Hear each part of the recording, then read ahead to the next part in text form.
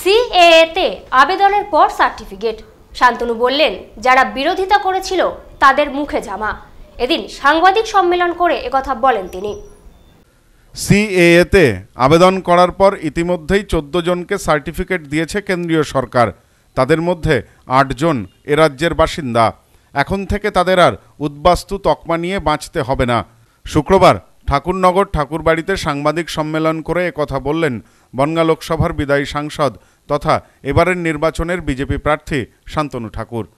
নির্বাচন প্রক্রিয়া চলার মধ্যেই রাজ্যের আটজন আবেদনকারী নাগরিকত্বের শংসাপত্র হাতে পেয়েছেন। তাদের মধ্যে রয়েছেন উত্তর চব্বিশ পরগনার ঠাকুরনগরের বড়া এলাকার বাসিন্দা এক মহিলা। নাম শান্তিলতা বিশ্বাস। এদিন শান্তিলতা দেবীকে পাশে বসিয়ে সাংবাদিক সম্মেলন করেন শান্তনু। তিনি দাবি করেন, যারা এর বিরোধিতা করেছিল, তাদের মুখে ঝামা ঘষে দেওয়া হয়েছে। বিদায়ী সাংসদের আরও দাবি, প্রায় দশ হাজার মতুয়া উদ্বাস্তু আবেদন করেছেন। এখনও আবেদন প্রক্রিয়া চলছে।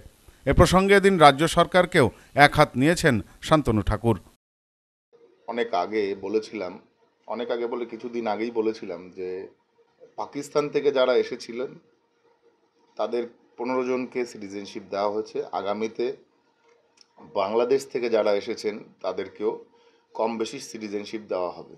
আমাদের হোম মিনিস্ট্রি থেকে দায়িত্ব নিয়ে যে ন্যাচারালাইজেশন সার্টিফিকেট দেওয়া হয়েছে, যারা বাংলাদেশ থেকে এসেছে, সাত- সাতজনকে তাদের মধ্যে আমাদের ঠাকুরনগরের বড়া বড়া থেকেও আমাদের একজন মতুয়া সম্প্রদায়ের মানুষ যার নাম আমাদের শান্তিলতা বিশ্বাস। উনিও সিটিজেনশিপ ন্যাচারালাইজেশন সিটিজেনশিপ যে সার্টিফিকেট সেটা কালকে হাতে পেয়েছে। এরকমভাবে নদিয়া, উত্তর চব্বিশ পরগনা থেকে সাতজনকে এই মুহূর্তে নাগরিকত্ব দেওয়া হয়েছে। যে আজকে যারা আমরা সামাজিক কর্মে আমাদের বিভিন্ন খাতা কলমে, কাগজে আমাদের যেখানে ব্যাপকভাবে সমস্যা হচ্ছিল, বিশেষ করে যে কোনো সার্টিফিকেট তৈরি করতে প্রশাসনের দ্বারস্থ হতে হয় এবং প্রশাসনের মাধ্যমে আমরা বিভিন্নভাবে নেগলেক্টেড হই।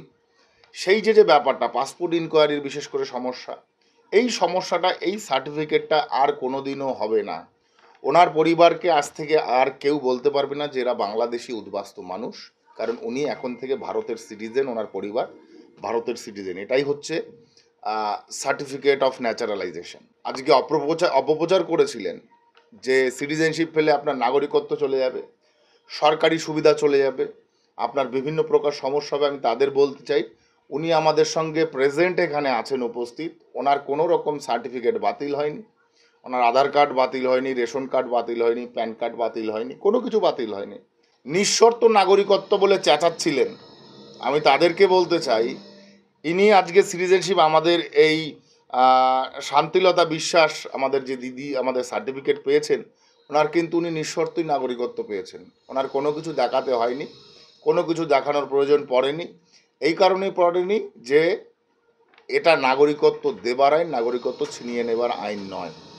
তো যারা নিঃশর্ত নিঃশর্ত করে চেঁচাচ্ছিলেন, তাদের কাছে আমি প্রশ্ন করতে চাই, কিসের নিঃশর্ত? নাগরিকত্ব দেবে ভারত সরকার, তারপর তাতে আবার শর্তটা কিসের? তো অতএব আপনাদের মুখে ঝামা দিয়ে ঘষে দেওয়া হয়েছে। এই নাগরিকত্ব দেওয়ার মাধ্যমে যারা নিঃশর্ত নাগরিকত্বের কথা বলছিলেন আর যারা এর এর যারা বিরুদ্ধে কথা বলছিলেন তাদের মুখে আজকে ঝামা ঘষা হয়েছে। তৃণমূল বলছে ভোটের আবহে দিয়ে দেওয়া হলো এটা কোড অফ মধ্যে পড়ছে এই নিয়ে কমিশনের কাছে অভিযোগ করা হবে সেটা তো গভর্নমেন্টের যারা দায়িত্বে আছেন বা ইলেকশন কমিশন আছে তারা বুঝবেন। সরকারি, তাহলে ভোটের মুখে যদি কোনো কিছু করা হয়, তাহলে সরকারি কাজগুলো বন্ধ করে দেওয়া হতো। রাস্তাঘাট এখন হচ্ছে কেন? মূর্খের মতো কথা বলছে টিএমসি, তৃণমূল কংগ্রেস, যে ভোটের কারণে সামাজিক কর্মগুলো বন্ধ থাকবে, অফিসিয়াল ওয়ার্কগুলো বন্ধ থাকবে। দেশ অচল হয়ে যাবে ভোটের জন্যে। সব্যসাচী ভট্টাচার্যের রিপোর্ট, নিউজ, নোম্যান্সল্যান্ড, ঠাকুরনগর। সবার পায়ে সবার পছন্দের উন্নত গুণমানের জুতো প্রস্তুতকারী সংস্থা সুনীতি ফুটওয়্যার ডিস্ট্রিবিউটারশিপের জন্য যোগাযোগ করুন eight six one seven double eight three four nine three office Bongaon, উত্তর চব্বিশ পরগনা, পশ্চিমবঙ্গ।